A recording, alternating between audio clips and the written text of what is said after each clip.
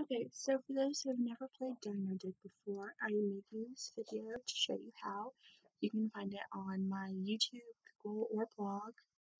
So you play Dino Dig, you have 12 tries and different arrows. So you'll start going horizontally and then vertically. And every time you make a move, that row or column that you did, the opportunity to, to do that one will disappear. You also want to try and get the sparkles.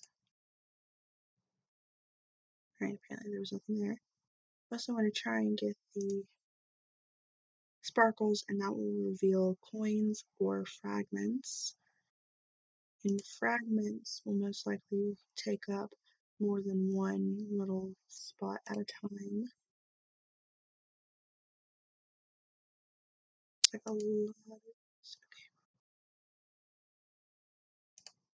that one. I am probably not going to find any fragments. If you don't find any fragments, that's alright. You can keep going. On the bright side, you get coins. And I ran out of moves. Anyway, that is how you play Dino Dig. So just keep trying until you find a fragment.